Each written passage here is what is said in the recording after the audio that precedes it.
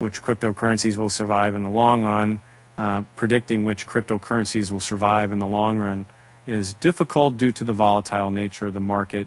Uh, however, focusing on those with strong fundamentals, uh, clear use cases, and robust ecosystems uh, increases their chances of success. Uh, some examples include Bitcoin, Ethereum, uh, Solana, Chainlink, and Avalanche. Uh, is it safe to leave crypto on exchanges? Leaving crypto on exchanges carries inherent risks, as exchanges are targets for hackers and cyber attacks.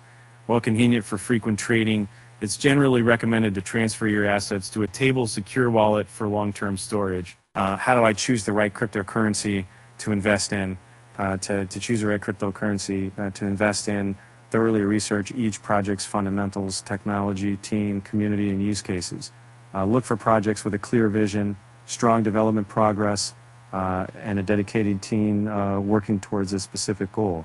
Diversifying your portfolio across different projects uh, can help mitigate risk.